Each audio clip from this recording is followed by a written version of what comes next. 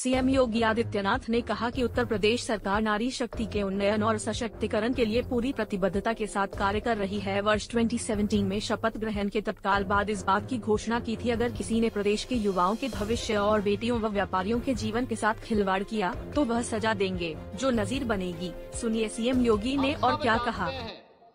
आधी आबादी के सशक्तिकरण के बगैर कोई भी समाज समृद्धि के नए पायदान को नहीं छू सकता। प्रदेश सरकार आज प्रदेश की नारी शक्ति के उन्नयन के लिए, उनके सशक्तिकरण के लिए पूरी प्रतिबद्धता के साथ कार्य कर रहा है। देश व प्रदेश के विकास में इस आधी आबादी की बड़ी भूमिका है। महिला सशक्तिकरण के लिए इसीलिए सरकारों का पूरा ध्यान उस ओर गया है। प्रदेश सरकार मुख्यमंत्री कन्या सुमंगला योजना के माध्यम से 19 लाख चौंतीस हज़ार बालिकाओं को लाभान्वित कर रही है। योजना राशि अब लाभार्थी को पंद्रह हज़ार रुपये से बढ़ाकर के पच्चीस हज़ार रुपये की गई है।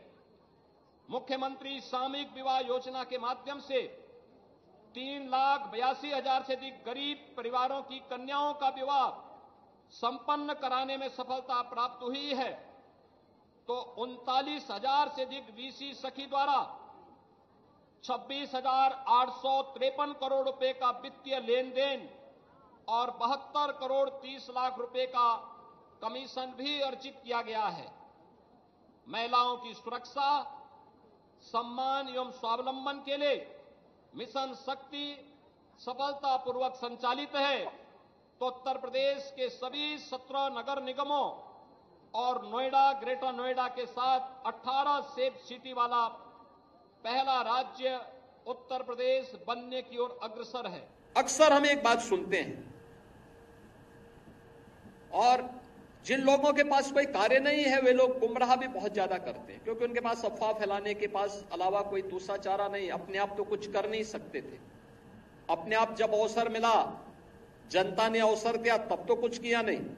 लेकिन जब प्रदेश के युवाओं को नौकरी दी जा रही है, पारदर्शी तरीके से, निष्पक्ष तरीके से इन प्रक्रियाओं को आगे बढ़ाया जा रहा है, क्योंकि हम लोगों ने पहले दिन ही 2017 में यहाँ पर सरकार ने शपथ ग्रहण के तत्काल बाद इस बात की घोषणा की थी कि अगर किसी ने युवाओं के भविष्य के साथ खिलवाड़ किया, उत्तर प्रदेश की बेटी और व्यापारी के जीवन के साथ खिलवाड़ किया तो याद रखना उसको हम वह सजा देंगे जो नजीर बनेगी देश और दुनिया के लिए।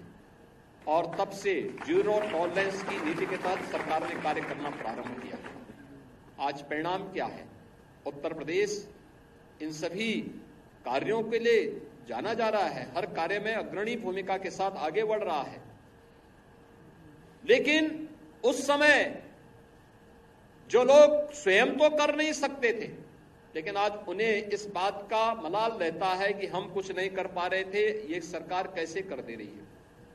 इसके लिए अपने उस गिरोह को आगे करके किसी न किसी प्रकार से अफवाह पैदा करना।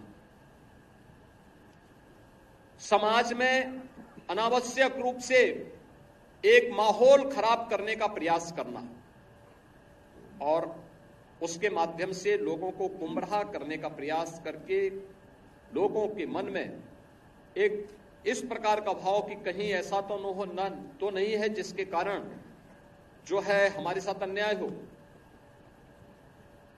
प्रदेश सरकार ने तमाम अच्छे प्रयास किए।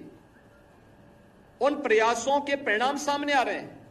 हमारा युवा किसी भी प्रतियोगी परीक्षाओं की तैयारी के लिए हो या किसी भी शासन की नौकरी के लिए, प्रदेश सरकार ने उनके लिए अभ्युदय कोचिंग की व्यवस्था भी प्रारंभ की।